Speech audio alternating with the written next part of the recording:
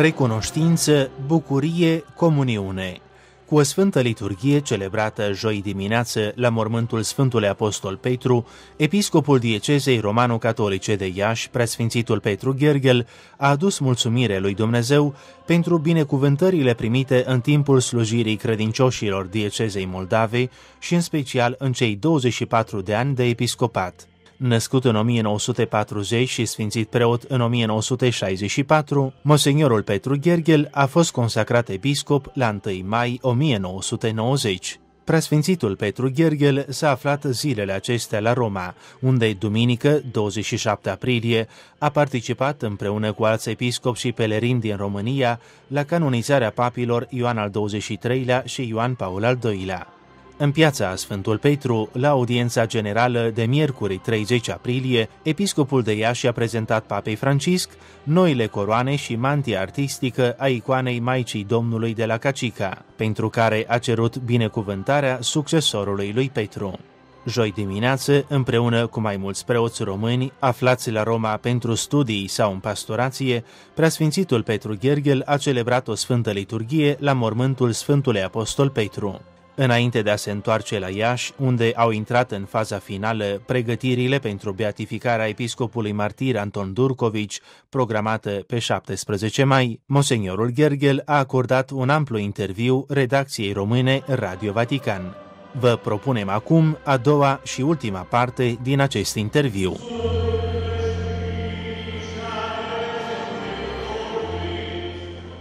Ați amintit în tocmai de canonizarea papilor Ioan al XXIII-lea și Ioan Paul al II-lea. Ce amintiri vă leagă de acești doi mari pontifi ai timpurilor noastre? De Sfântul Nou Ioan al XXIII-lea ne leagă amintiri moștenite de la cei care au avut bucuria să-l întâlnească și în România, el fiind nunțul la Sofia, a avut mai multe ori ocazie să treacă în România chiar a vizitat România și sigur sunt asemenea amintiri și date introduse în istoria noastră. Chiar există o stolă a Sfântului Părinte Ioan al 23-lea care a rămas în România și este prețuită pentru demnitatea care el a știut să o poarte și să-și împlinească misiunea diplomatică și nu numai diplomatică, de mare păstor în acele perioade grele.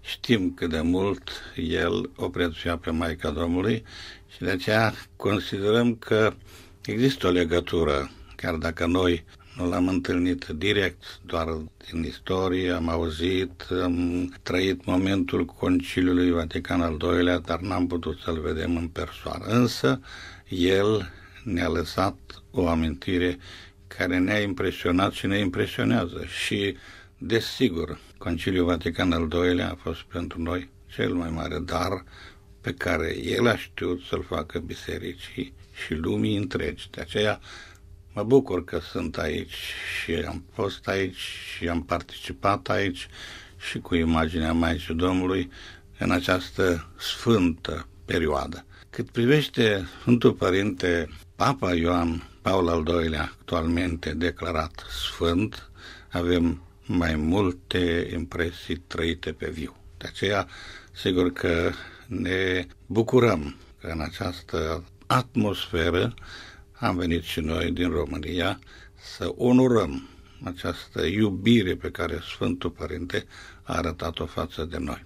Eu, ca și ordinarius ad nutum sancte sedis, am fost numit în același an cu alegerea Sfântului Părinte, Papa Ioan Paul al II-lea. Mai târziu a venit Sfântul Părinte, așa că l-am prins și pe Sfântul Părinte Papa Paul al VI-lea, dar și am început activitatea mea sub această ocrotire și grijă și iubire a Sfântului Părinte Ioan Paul al II-lea.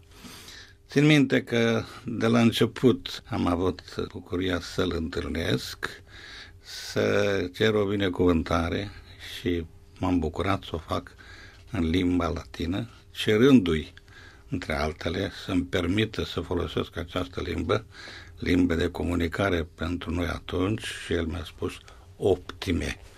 Acest optime a rămas pentru mine în memorie ca un fel de prețuire pentru eforturile noastre în România de a ne pregăti pentru a fi preoți în perioade foarte grele. Sigur că am rămas uh, în continuă legătură cu Sfântul Părinte, așa încât de acum, de la distanță, știa să-mi spună pe nume și ori de câte ori venea cineva din dieceză, el amintea episcopul Gergel, de acolo, de la Iași. Sigur că noi am știut cât de mult a iubit biserica întreagă, dar și biserica din România. Întrucât cred că ceva îl îndemna să se îndrepte spre România, fiind așa de aproape de Polonia, România, fiind acea interferență între polonezi și români în istorie. Iubea mult România. A dorit foarte, foarte mult să vină în România și sigur că ori de câte ori ne întâlnea, personal mă întâlnea, totdeauna ne întreba când vine momentul pentru a ajunge. Și a dorit, a dorit nespus de mult și ne-a rugat să facem totul ca să poată să fie realizată o asemenea vizită. Și s-a realizat. Consider că vizita a fost un gest de mare prețuire față de poporul român, credincios și devot față de Maica Domnului. Atât poporul care aparține Bisericii Catolice, cât și poporul care aparține Bisericii Ortodoxe.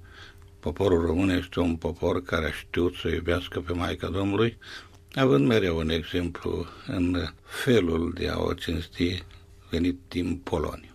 Mă bucur că această amintire a celor doi papi ajunge să mărească bucuria noastră în jurul Maicii Domnului, pe care Sfântul Părinte o cunoștea, imaginea ei, a primit-o de mai multe ori și sigur că ne leagă și de cei doi papi amintirea altui fericit al nostru, fericitul Ieremia Valacul, a cărui cauză a fost introdusă sub pontificatul Sfântului Părinte Sfântul Ioan al XXIII-lea și desigur dusă la desăvârșire de către Sfântul Părinte Sfântul Ioan Paul al II-lea.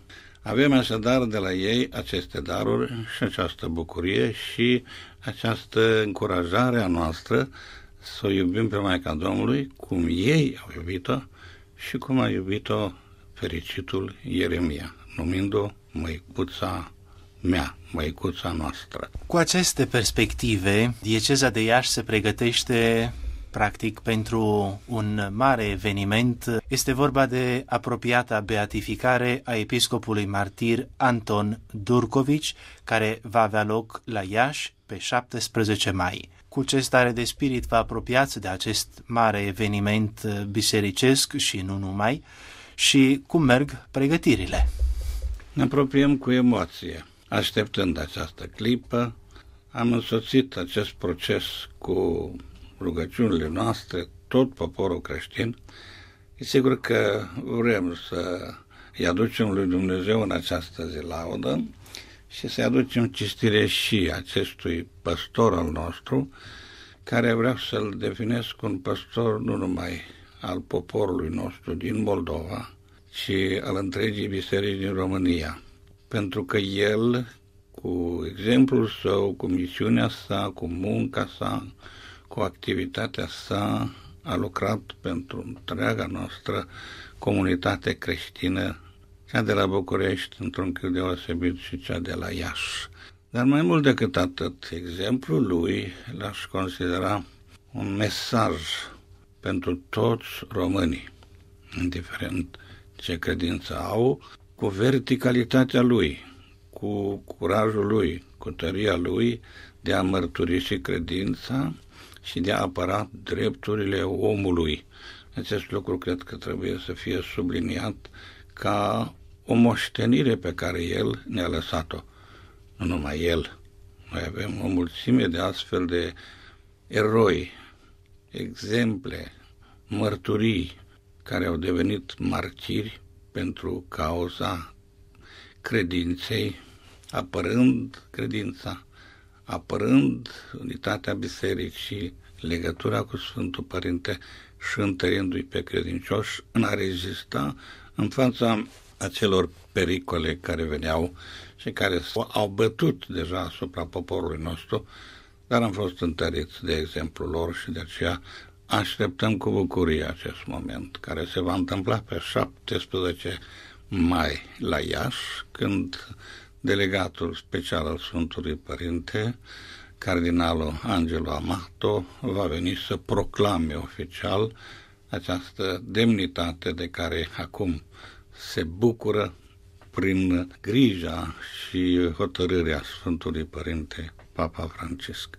de a fi fericit episcop martir al bisericii noastre, al tuturor credincioșilor și al tuturor celor care îl caută pe Dumnezeu, mai ales al tinerilor. Aș vrea să subliniez acest lucru, întrucât în această zi sperăm să fie mulți tineri care să încorjoare imaginea noului fericit Anton Durcovici și mulți copii și ministranți, întrucât el a avut o misiune lungă de ministrant, de tânăr, de preot, profesor și sigur pastor al întregii noastre comunități.